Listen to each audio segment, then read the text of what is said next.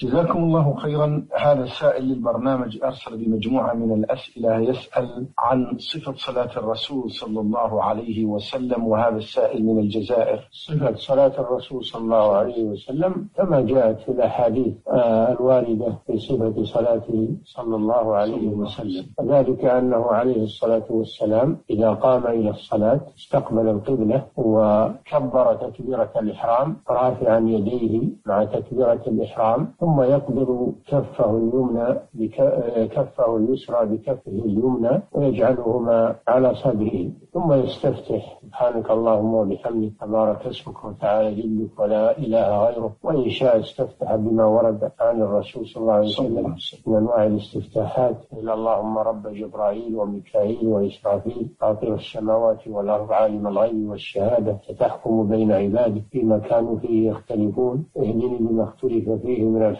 باذنك إنك تهدي من تشاء إلى صراط مستقيم. وإن شاء قال وجهت وجهي للذي فطر السماوات والأرض حنيفا وما أنا من المشركين. إن صلاتي ونسكي ومحياي ومماتي لله رب العالمين. لا شريك له وبذلك أمرت وأنا أول المسلمين. ثم يستعيذ بالله من الشيطان. فيقول أعوذ بالله من الشيطان الرجيم من همزه ونفخه ونفخه. ثم يقول بسم الله الرحمن الرحيم. ثم يقرأ الفاتحة. ثم يقرأ بعدها ما تيسر من القرآن في الركعتين الأوليين من الرباعية ومن المغرب ومن صلاة الفجر ثم يرفع يديه مكبرا ويركع ويمد ظهره يضع يديه على ركبتيه ملقما كل يد ركبة مفرجا لأصابعه أصابع يديه ثم يمد ظهره مستويا ويجعل ظهره حيالة لا يخفضه ولا آه، يرفعه ثم يقول سمع الله لمن حمده ربنا ولك الحمد حمدا كثيرا طيبا مباركا فيه إذا اعتدل من قائما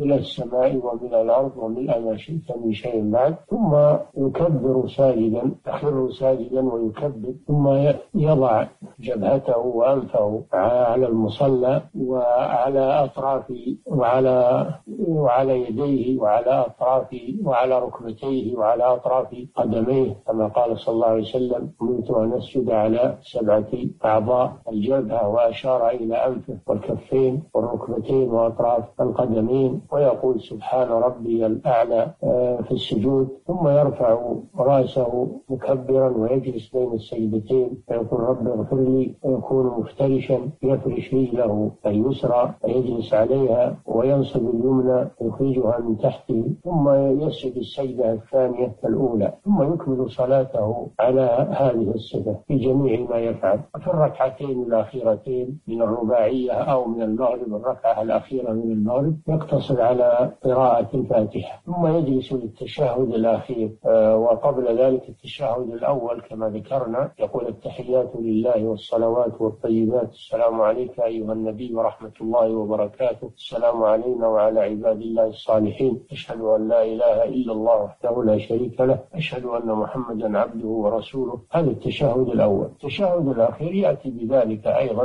ويضيف إليه. اللهم صل على محمد وعلى آل محمد كما صليت على إبراهيم وعلى آل إبراهيم إنك حميد مجيد. وبارك على محمد وعلى آل محمد كما باركت على آل إبراهيم في العالمين إنك حميد مجيد. أعوذ بالله من عذاب جهنم ومن عذاب القبر ومن فتنة المحيا والممات ومن فتنة المسيح الدجال. ثم يدعو بما تيسر من الأدعية. ويختار من الدعاء أعجبه إليه كما في الحديث. ثم يسلم عن يمينه. السلام عليكم ورحمة الله ثم يسلم عن يساره. السلام عليكم ورحمة الله. هذه الصفة باختصار. وهي مبسوطة في كتب الحديث كتب السنة الواردة عنه صلى الله عليه وسلم. نعم.